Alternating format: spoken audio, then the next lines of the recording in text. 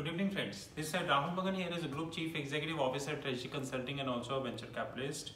A $25 million valuation company and hopefully $1 billion maybe by 2022 and 23. Today we are going to cover a very relevant topic. Actually today we gave a training to the top 10 banks of Singapore. In fact, there were almost every bank was there. And tomorrow also we are going to impart training in that regard. But today and tomorrow there was actually one common point which was I, I, think this video I'm making hardcore FX video for special people. This is not for everybody. I don't think everybody for everybody it's a useful or not, you know. So today after training program, within the training program, JP Morgan Chase raised a actually very important point which I think was much relevant. What he said that as we are moving from LIBOR to SOFR, sorry, he said that as more and more derivatives are getting centralized, they are under the IM, which is initial margin and since they're going to be settled using CCP although we're not sure whether this would happen or not till what extent it would happen we don't know because capital is always an issue regulatory are always an issue. There are so many things in place actually.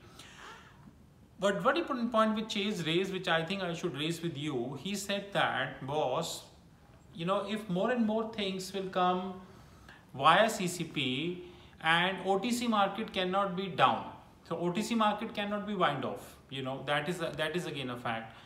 In OTC market there is no basis risk. Now I'm not going to explaining what exactly is the basis risk. Actually it's a floating risk. And when both sides float then it is known as basis swap. He said that when more and more trades will move from OTC to CCP then if a bank take take a CCP trade you know uh, on the contrary he takes an OTC trades right? Then it will create a huge basis adjustment in the books and I am agreed.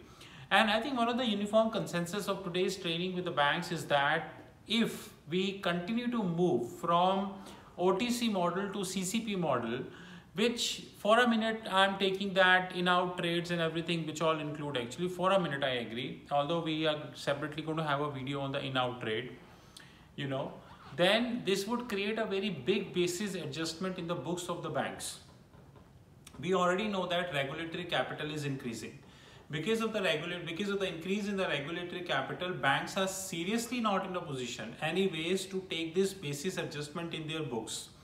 Bank needs to pass this basis adjustment to their clients. Now banks needs to pass this basis adjustment to client then one of the questions which i raised to jp morgan chase is that till what extent client would be able to take it? Because we need to appreciate that clients are also not in a good shape. So you take any company in this globe, they are all they are not in a good shape, right?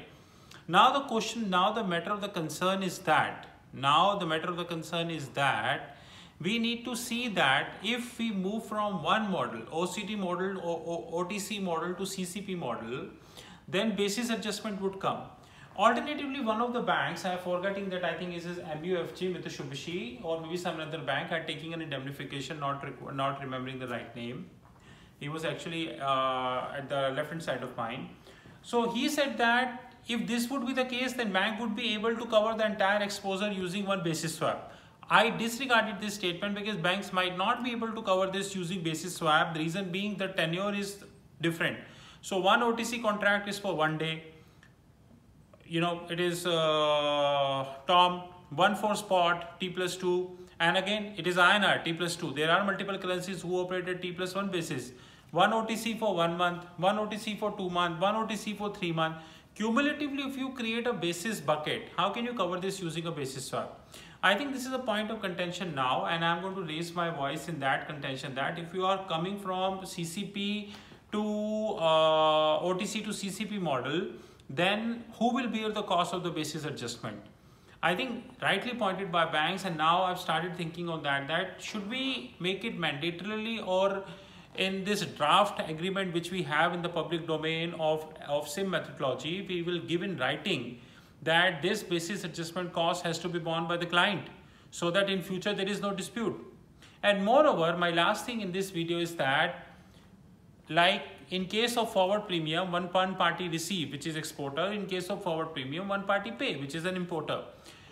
Would there be a provision that the client would receive basis premium if the scene will turn off?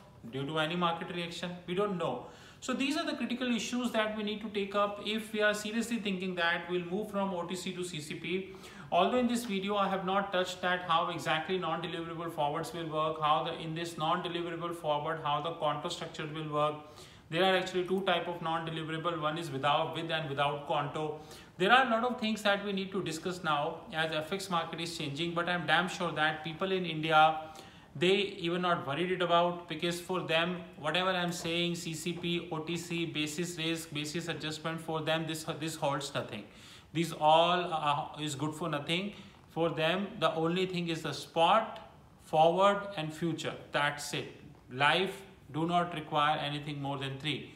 But come singapore you will see see that minds are actually in action and people are here thinking that that scene might be little stressful or mess up future amount of time. With this, Treasury Consulting, thank you very much. If you think you have credentials, you have something to substantiate, you think that you are able to do something different in the life, in FX market, you're welcome to join our WhatsApp group. You know my mobile number 91 you know our fixed income platform www.fixedincome.global. Have a great time and being in Singapore, one of the beauties of Singapore is that we it is getting more beautiful that as Hong Kong is getting, you know, giving a very stiff competition, which is I always term this as a healthy competition between Singapore and Hong Kong. Minds are moving almost in every direction. With this, I thank you Singapore government for giving this platform. Wonderful. Today training is also pending. Tomorrow's training is also pending. And more videos on the way. Thank you.